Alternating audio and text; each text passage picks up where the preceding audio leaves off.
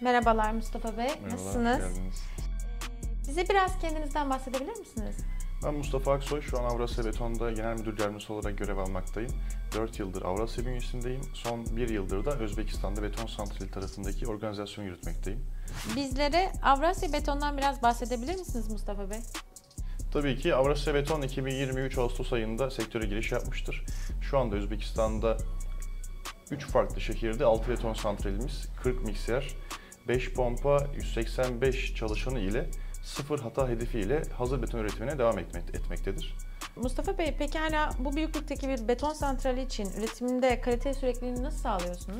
Türkiye'den gelen tecrübeli bir kadromuz var laboratuvar ekibi için. Ayrıca yerel mühendisleri de kadromuza kattık. Toplamda 12 kişilik bir laboratuvar ekibimiz var. Ayrıca bunların yardımcıları var.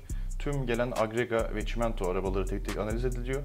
Bunların analizlerine göre her mikser yüksek kalitede çıkması sağlanıyor.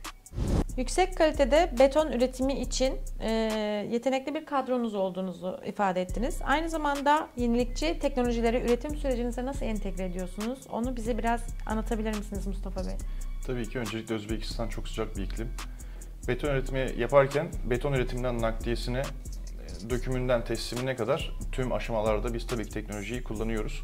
Her geçen günde sektördeki gelişmeleri yakından takip ediyoruz. Son olarak Avrasya Beton olarak mottonuz nedir Mustafa Bey? Avrasya Beton alanında öncü, yenilikçi ve hızlı olmayı hedef olarak belirlemiş, motto olarak belirlemiş bir firma.